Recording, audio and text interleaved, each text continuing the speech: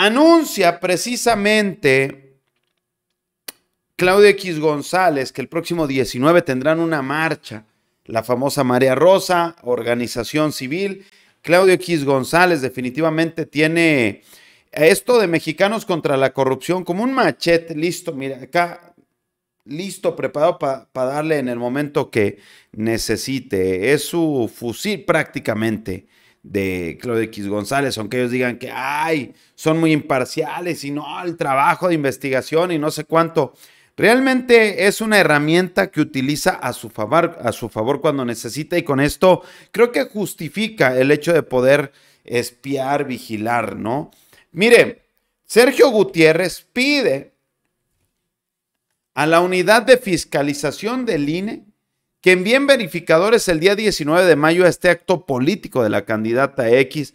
Es un claro gasto de campaña, aunque decían que era ciudadano. Siempre fueron actos proselitistas disfrazados. Son unos cínicos y mentirosos, decía ahí Sergio Gutiérrez. Y es que Morena pedirá que marcha de Claudia X eh, se cargue como un gasto de campaña.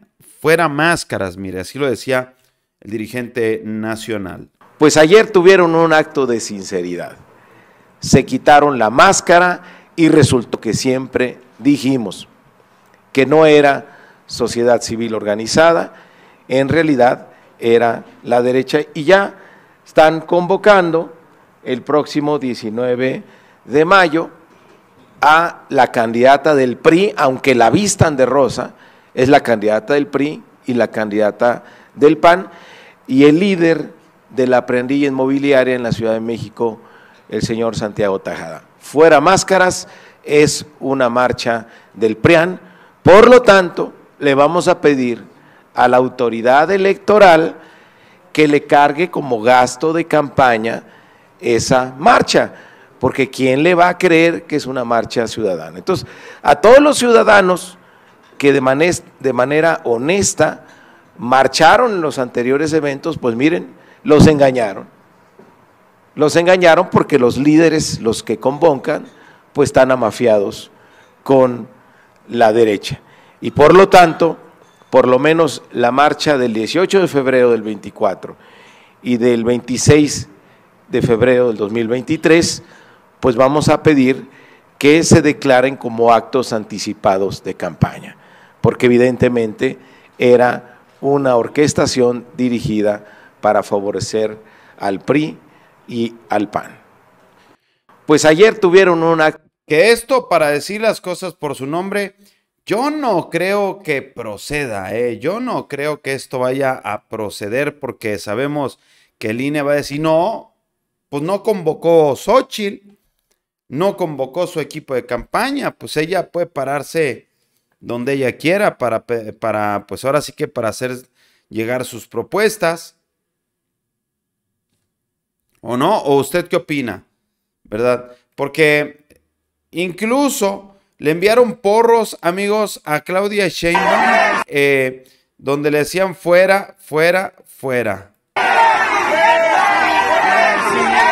Ese video se entre que le decían eh, fuera y presidenta, porros en Veracruz de los Yunes.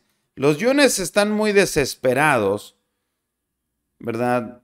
Fue un montaje de los Yunes, por cierto, amiguísimos de Brad. Y mire, lo daba a conocer el Reforma. Fuera, fuera, le gritaron a Claudia a su arribo al aeropuerto de Veracruz. La candidata les mandó besos mientras sus acompañantes la rodeaban y coreaban, Presidenta.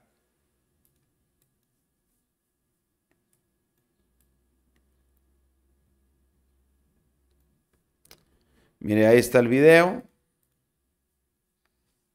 ¿Verdad?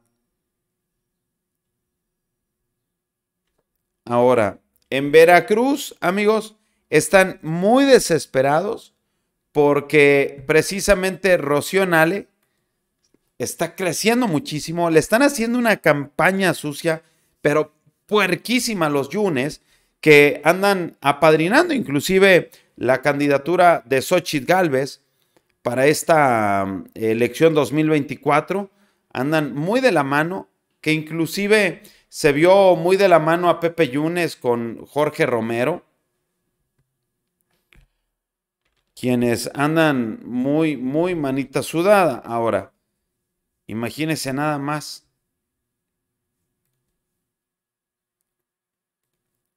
Mira, aquí está.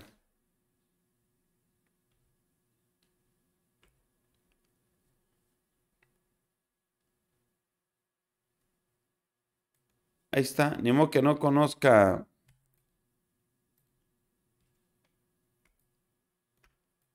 Estos rostros. Todo un delincuenzazo. O diría yo tres. ¿Verdad? Jorge Romero, el padrote del cártel inmobiliario,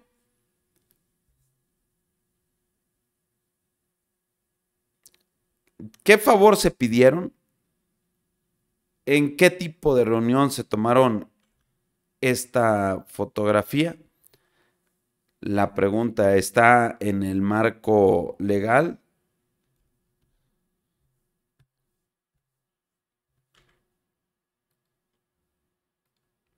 Fue a cerrar el negocio Jorge Romero. Ahí con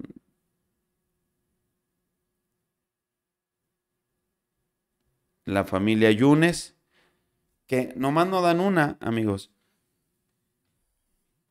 Veracruz quieren regresar, quieren recuperar terreno porque saben que un sexenio más no lo van a poder eh, sobrevivir en esta proposición, por eso están empecinados en darle con todo. Ahora, Jorge Romero, un ambicioso vulgar del cártel inmobiliario.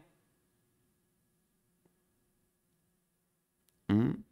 José Yunes Zorrilla es el candidato por el PRI, eh, quien está buscando la gubernatura allá en el estado de Veracruz. En este 2024, el dirigente nacional del PRI, Alejandro Moreno, ya lo publicó eh, oficial, es nuestro, lo publicaba pues en su momento, es oficial, es nuestro candidato. Y obviamente, incluso esto generó rencillas ahí no es un personaje muy bien visto en, Veracruz. Pero bueno, amigos, amigas, ahí está la información. ¿Usted qué opina al respecto? Le voy a agradecer muchísimo su comentario en torno a esto. Bueno, pues eh, están buscando desprestigiar a Claudia Sheinbaum, incluso a Rocío Nale en Veracruz. La realidad es que se les cae el teatrito siempre. Siempre, siempre, siempre.